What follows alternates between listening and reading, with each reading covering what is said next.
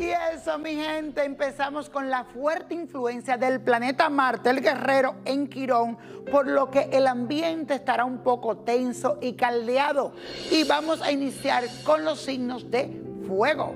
Aries, mucho cuidado con los impulsos y con perder el control ante cualquier situación. Respira profundo.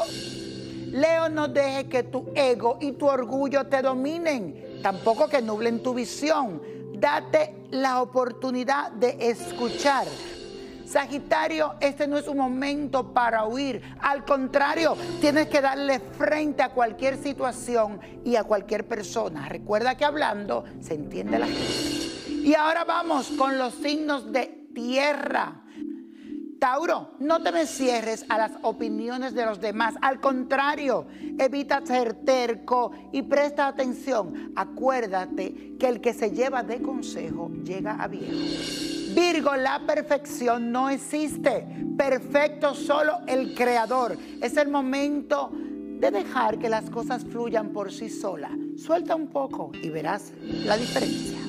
Capricornio, evita presionar a tus compañeros de trabajo o algún familiar que sigan sus pasos, que sigan sus planes. Recuerda que no todos tienen el mismo nivel de concentración o de inteligencia que tú tienes. Y ahora nos movemos a los signos de aire. Géminis, lo que te voy a recomendar es que sea constante con tus cosas, con tus planes y que no dejes nada a media. Al contrario, si empezaste algo, termínalo. Libra, te culpa por mucha dureza, por los errores que ha cometido. No es justo contigo mismo. Es de humano errar y cometer errores. Recuerda eso. Acuario, llegó el momento de liberarte de los compromisos, del temor no estás obligado a nada, haz todo de corazón y llévate de tu intuición. Y cerramos con los signos de agua. Cáncer practica el despego con tus seres queridos y no te aferres al miedo del olvido. Te has ganado un lugar valioso en los corazones de las personas que son importantes para ti. Escorpio, el odio y el rencor pueden envenenar tu vida, así que no dejes que tomen el control de ti. Más bien concéntrate en todo lo bueno que tú eres y sientes en ti.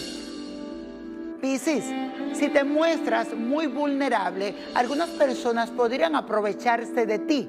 Fortalece tu carácter y asume una actitud más positiva, más fuerte y más guerrera.